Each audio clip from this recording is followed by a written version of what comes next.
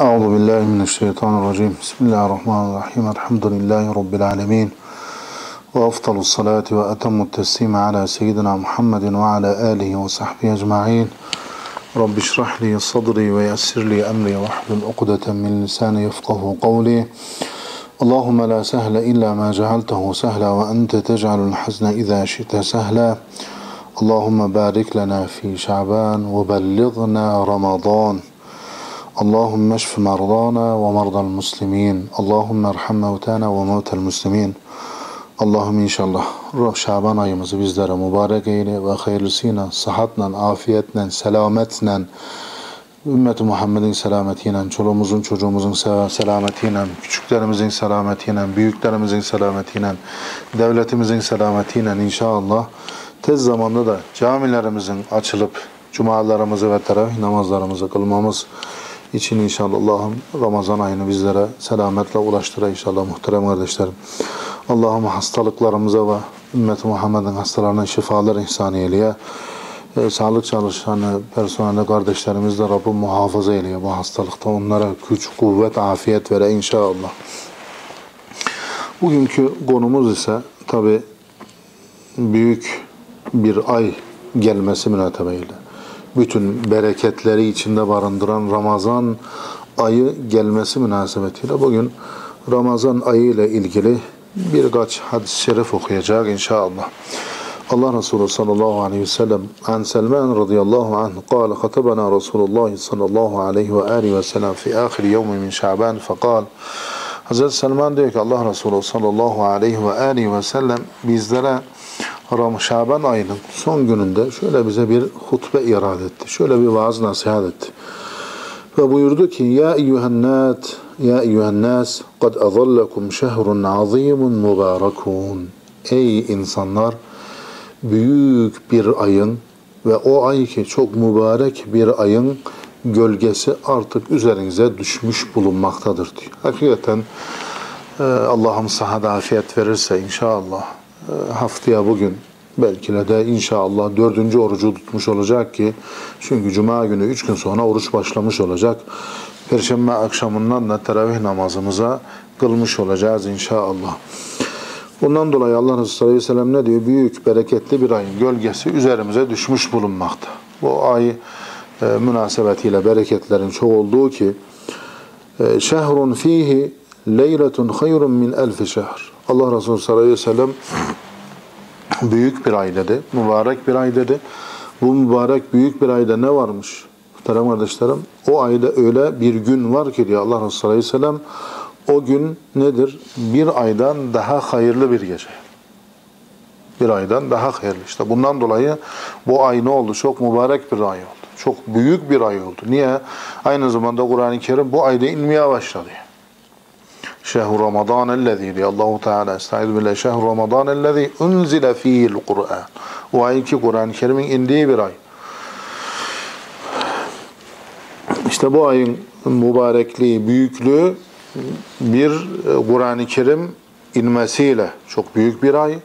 İki de içinde bir aydan daha hayırlı olan bir mübarek bir gece var.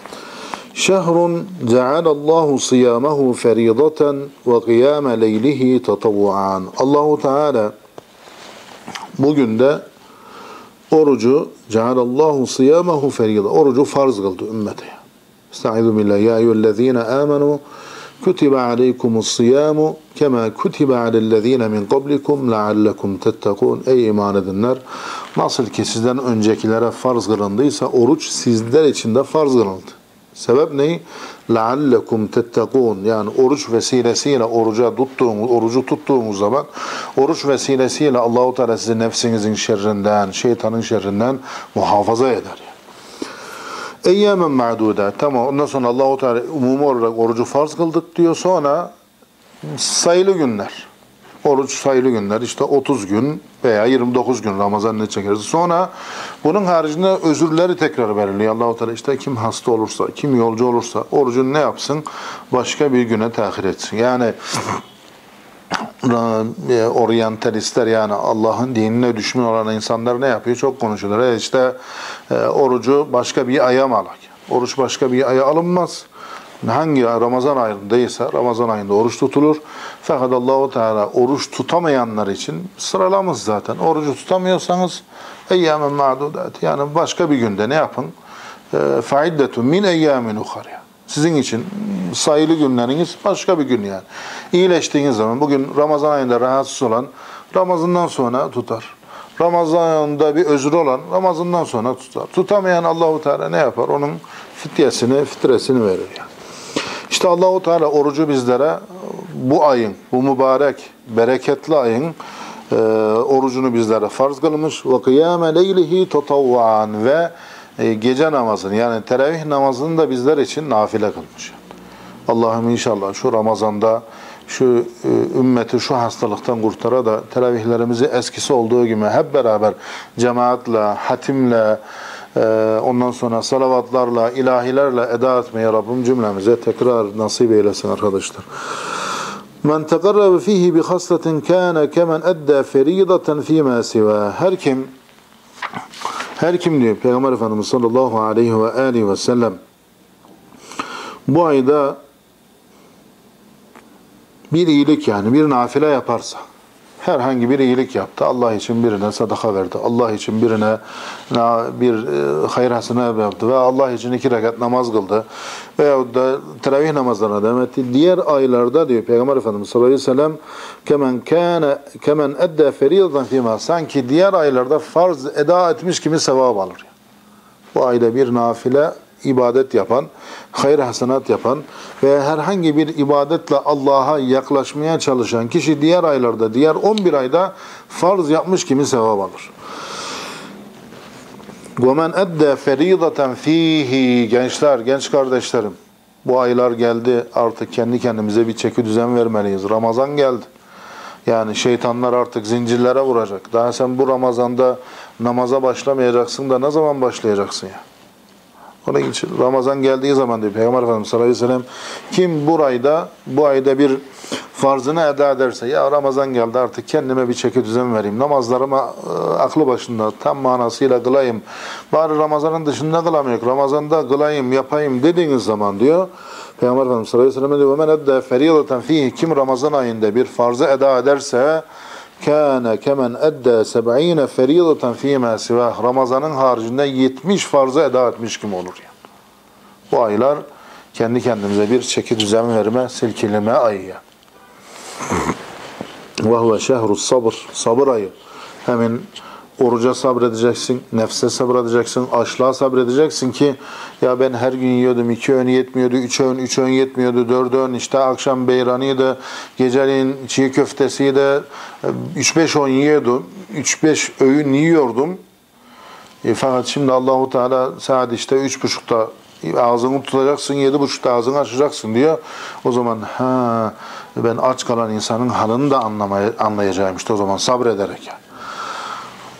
Ve sabru sevabuhu el cennet. Kim sabrederse, orucunu Allah'a inanarak Ramazan ayını hakkıyla eda ederse onun karşılığı ne diyor Peygamber Efendimiz sallallahu aleyhi ve sellem cennet.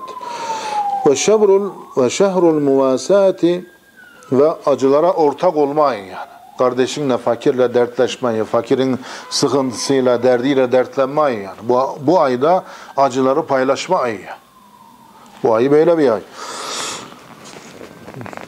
Şehrun yuzadu fi rizqil mu'mini fihi. İşte bu ayda diyor Peygamber Efendimiz sallallahu aleyhi ve sellem müminin rızkı artar yani. Nereden nasıl geldiğini bilmez. Bakarsın ki diğer aylarda bir insan zor e, kanaat geçiniyorsa bu ayda Allahu Teala bir bereket verir. Cebine bereket verir, evine bereket verir, haşladığına bereket verir. Apayrı bir ay yani. Her ne kadar aynı parayı da almış olsa Allahu Teala müminin rızkını artırır. Fihi saimen kana mağfireten li zunubihi ve itqa rakabetihi minen nar. Kim bir oruçluyu iftar ettirirse diyor Allah Resulü sallallahu aleyhi ve sellem bir oruçluyu iftar ettiğine muhterem kardeşlerim geçmiş günahları affolunur ve itqa rakabetihi minen nar ve kendisini cehennemden azat etmiş olur. Şu boynunu cehennemden azat etmiş olur. Hele hele bu ayda gerçekten yardımlaşma ayı, kardeşlerimizin kimileri oruç açamayanlar, kimileri iftar ettiremeyenler var. Onun için bu ayda da E, Allahu Teala bu ayı tabi virüs vesilesiyle ayrı sanki ayrı bir bereket olacak. Fakir kardeşlerimizin evine ayrı bir yol açılacak. Çünkü evvelden daha önce hep zenginler iftar veriyorlardı. O da çok lüks yerlerde sadece zenginleri çağırıyorlardı. Ama şimdi inşallah o oralar kapalı. Rabbim tez zamanda o kardeşlerimiz de işlerini açmayı nasip eylesin. İş yerlerini açıp onların da çoluğu çocuğu var. Ekmek göt vesile olduğu insanlar var. Bu vesileyle belki inşallah zengin kardeşlerimiz ne yaparlar? Fakir insanları daha çabuk ulaşıp daha hayır hasenat yapabilirler. Çünkü hemen geçmiş günahlarına kefaret olur. Ve itqı ragabetihim ve aynı zamanda da kendisini cehennemden azat etmiş olur bu hayır vesilesiyle. Ve kana lehu mislu ecrihi min gayri en min yunqasa min ecrihi şey. Aynı zamanda iftar ettirdiği kişinin de hiç sevabından bir şey eksilmeksizin geçmiş günahlarına kefaret olduğu gibi kendi kendisini cehennemden azat olur. Kalu ya Resulallah leyse kulluna yecidu ma yufattiru saim. O zaman sahabeler diyor ki ya Resulallah biz tabi öbür zengin kardeşlerimiz gibi işte ya e, yemeğin kebabını, lahmacunu veya işte her şeyini veremiyoruz. Öyle imkanımız yok. Veya bir kardeşimiz ben dört dörtlük vereyim diyor. Bir kardeşim de ya ben ona gücüm yetmiyor ama ben ne yapabilirim dediği zaman Allah Resulü sallallahu aleyhi ve sellem bakın işte her hepimize şifa olacak reçeteyi söylüyor. Diyor ki فَقَالَ رَسُولُ sallallahu aleyhi ve sellem هَذَا الثَّوَابِ Allahu Teala bu sevabı kimlere verir? Yani geçmiş günahlarının affedilmesi, kendisini cehennemden azat edilmesi kimlere verilmiş? Sadece kocaman kocaman e, iftarlar açanlar değil. Tabi onlar da mükafatını çok fazlasıyla alır. Ama bu işin ucundan tutan da Allahu Teala en azından geçmiş günahlarını affedip cehennemden azat edeceğini kimlere veriyor? Bakın Men fattıra saimen ala temretin. Ya benim öyle gücüm yok ama ben de hurmasını vereyim diyen kardeşimizin geçmiş günahlarını affedecek. Ev şurbeti me'in veyahut da ya benden azından iftar edecek kişinin e, suyunu vereyim, bir şişe suyunu vereyim diyen kardeşimize verecek. Ev muzgati lebenin veyahut da ya ben de işte onu vereyim, ben de bir parça sütünü vereyim veya bir parça kayısısını vereyim veya bir parça peynirini vereyim veya birkaç habbe zeytinini vereyim veya bir parça ekmeğini vereyim diyen kim varsa diyor Allah Resulü sallallahu aleyhi ve sellem bu mükafat onlar için de geçerli. Bakın ne oldu? Başta söylediğimize Allah Resulü sallallahu aleyhi ve sellem mübarekun ve azimun Çok mübarek, bereketli bir ay yani. Fakirini de ihya ediyor, zenginin de ihya ediyor. Fakirini doyurmakla, içirmekle, e, çoluğunu çocuğunu sevindirmekle ihya ediyor. Zenginini ise günahlarını affedip cehennemden azat etmekle ihya ediyor. Onun için Ramazan çok büyük bir ay diyor Allah Resulü Çünkü ve huve şehrun evveluhu rahmetun. Allah Allah evveli rahmet ayı yani. Evveli rahmet. Hakikaten çünkü biz bir 11 e, ay boyunca yemeden çıkıyor ya. Yemeden çıkıyor. Eğer Allahu Teala evvelinde bu rahmeti bize hissettirmese hakikaten dayanma çok zor ya. Ama bakıyorsun Allahu Teala rahmetini hissettirdiği zaman bir iki gün sonra alışmış gidiyorsun yani. Evveluhu rahmetun rahmet ayı ve evsatuhu mağfiretun mağfiret ayı. Mağfiret ayı. Çünkü insanlar e, alıştıktan sonra artık e, fakirin, fukaranın ihtiyacını gidermeye başlıyor. Ortasında e, Allahu Teala onların günahlarını affediyor. Ve ahiruhu idkun ve ahiruhu idkum minen nar. Sonu ise cehennemden azat ayı. Devam ediyor, devam ediyor yani bitmiyor bu mükafatlar Ramazan ayında. Men haffefe an memlukihi fihi kardeşimiz bunu yapmıyor. Yani insanlara iftar ettirecek gücü yok veya yaptıramıyor. Allahu Teala o gönül zenginliğini ver, vermemiş ona. Yapamıyor bir türlü. E, fakat diyor Allah Resulü devam ediyor. Ee, men haffafa an memlukihi fihi kim diyor? E, elinin altında çalışan var. Sabahleyin işte adam işçi 8'de geliyordu, 6'da gidiyordu. E, hiç durmadan 8 saat boyunca çalışıyor yani. Bir saat öğlen arası mühlet var. Onun haricinde 8 saat çalışıyor. Başındaki patron dersin, oğlum Ramazan ayı geldi. Kendi kendinizi çok yorman. İşinizi yapın ama çok da yorman. Bir iki saat erkenden gönderip elinin altındaki işçilere böyle işlerini hafifletirse, o ayda onlara e, kolaylık tanırsa diyor Peygamber Efendimiz sallallahu aleyhi ve sellem ve atakahu min gafarallahu lehu ve atakahu minenler. Aynı mükafat onun içinde var. Allah onun günahlarını affeder ve onu da cehennemden azat eder. Devamında Peygamber Efendimiz sallallahu aleyhi ve sellem yine bitmiyor yani. Bereket ayı واستكثروا فيه من أربع خصال خصلتين ترضون بهما ربكم وخصلتين لا غناء بكم عنهما Yani bu ayda da şu dört tane şeyi çok çok yapın. Bu dört şeyin ikisi ne? İkisi Allahu Teala'yı razı edecek şeyler. Diğer ikisi de hiçbir Müslümanın ondan geri kalmaması gerekir. Ona devam etmesi gerekir. Birincisi Allahu Teala'yı razı edecek iki şey. Onları bol yapmanız gerekir. İkincisi de her Müslümanın yapacağı iki şey. Hiçbir Müslüman ondan zengin olamaz. Yani ondan geri duramaz. Yapması gerekir. Yani. فأما الخصلتان التي ترضون بهما ربكم فشهادة أن لا إله إلا الله واستغفرونه Ramazan boyunca devam etmeniz gereken zikirler yani e, Kur'an-ı Kerim'e hatmetmenin haricinde yapmanız olan yapmanız gereken olan zikirler la ilahe illallah kelime-i tevhidi çok söylemek ve istiğfarı çok yapmak. La ilahe illallah, estağfirullah, estağfirullah, estağfirullah deyip istiğfarı bol bol yapmak. وأما الخصلتان التي لا غنى بكم عنهما ve yapmanız gereken e, iki şey ise hiç terk etmemeniz gereken e, sizin ondan başka çareniz olmayan iki şey ise e, fesalullahal cenneh ve teavvazune bihi minen nar ve Allahu Teala'dan ne yapın? Allahümme edhilnel cennet. Allahümme inna nes'elukel cennet. Allahümme edhilnel cennet. Cenneti çokça isteyin ve Peygamberimiz sallallahu aleyhi ve sellem ne diyor? Ve teavvazûne bihi minen nar ve cehennemden Allah'a sığının. Allahümme ecirna minen nar. Allahümme ecirna minen nar diye Ya Rabbi cehenneminden sana sığınırız. Ya Rabbi cennetini isteriz. Cehenneminden sana sığınırız diye Allah'a bol bol bu ayda devam et. Yapmamız gereken La ilahe illallah. Estağfirullah. Bu ayda Allah'ı razı edecek ameller. Bir diğeri ise her Müslümanın yapması gereken, istemesi gereken yani bir fakir gibi, bir ihtiyaç sahibi gibi istemesi gereken şey ise neymiş muhterem kardeşlerim? Allah'tan cennet isteyeceğiz ve cehenneminden de Allah'a sığınacağız. Bu ikisine de zaten Peygamber Efendimiz sallallahu aleyhi ve aleyhi ve sellem de daha önce geçen sünnetlerde ne yapmıştı? Bize öğretmişti zaten. Sabahleyin sabah namazının farzından sonra 10 sefer La ilahe illallah vahdehu la şerike le lehul mulku ve lehul hamdu yuhyi ve yumitu ve ve ala kulli şeyin kadir ve yedi seferde ne? Allahümme ecirna minen nar, Allahümme ecirna minen nar, Allahümme ecirna minen nar. Yedi sefer cehenneminden sığınmak, sekiz seferde. Yedi sefer niye cehenneminden sığınıyoruz? Çünkü e, cehennemin yedi kapısı var. O yedi kapıdan Allah'a sığınıyoruz. Sekiz seferde Allahu Teala'nın rızasını istiyoruz, cennetini istiyoruz. Niye? Çünkü cennetin sekiz tane kapısı var. Allahu Teala'dan cennet istiyoruz.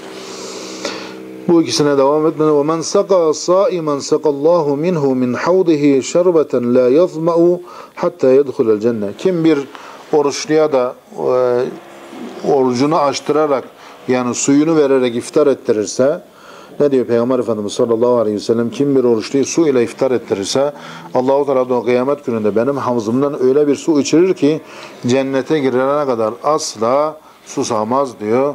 Allahu Teala inşallah bu Ramazan ayını bereketli, hayırlı bir şekilde geçirmeye nasip eylesin. Bu Ramazan ayına hürmet etmemiz gerekir kardeşlerim. Ramazan ayına saygı göstermemiz gerekir. Allah Resulü sallallahu aleyhi ve aleyhi ve sellem hele son gün son 10 günü geldiği zaman her şeyi bırakırmış, halvete, itikafa girermiş yani. Bu Ramazan ayı bereket bir ayı. Buna hürmet etmemiz gerekir. Hatta şöyle bir kıssa da rivayet olunur. Bir mecusinin biri çocuğu böyle yolda gittiği yerde bakıyor ki e, orucunu yiyor. Çocuğa geliyor iki üç tane boynunun köküne vuruyor. Oğlum bu ay Müslümanların oruç ayı. Onların ayına hürmet et. Sokakta yeme. Yiyeceksen git evinde ye, ye diyor yani. Çocuk adam vefat ettiği zaman adama bakıyorlar ki cennette görüyorlar. Diyorlar ki sen mecusiydin nasıl oldu? Ben Ramazan'a hürmet ettiğimden dolayı Allahu Teala ne yaptı? Bana son nefeste son anda imanı nasip eyledi. Ramazan bu kadar bereketli, hayırlı bir ay. Onun için buraya hürmet etmemiz gerekir, saygı göstermemiz gerekir. Bu ayda ibadeti, taata, kulluğa çok çok yönelmemiz gerekir. En azından bu Ramazan boyunca Kur'an-ı Kerim'imizi hatmedip cüzlerimize devam etmemiz gerekir. Allah'ım inşallah Ramazan'da orucunu tutacak kardeşlerimizin hürmetine, ihtiyarlarımızın hürmetine, çocuklarımızın hürmetine, cami kapısında olup da sızı sızı sızlayan e, ihtiyarlarımız, camiye gönlü bağlı olanların hürmetine inşallah tez zamanda şu hastalığı kaldıra.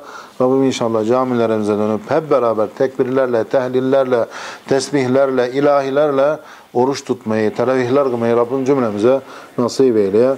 Ümmet-i Muhammed'in birliği ve beraberliği için, devletimizin ve milletimizin selameti için, ordumuzun muzafferiyeti için ve inşallah tez zamanda da bu hastalıkların defolup gitmesi niyetiyle, hasta olan kardeşlerimizin şifa olması niyetiyle eee Peygamber Efendimiz sallallahu aleyhi ve sellem ruhuna, eline, ashabına, tabiine, tebe-i tabiine, eyyime-i müştehidine ve meşayih-i kiram efendim ruhlarına el-Fatiha, salavat.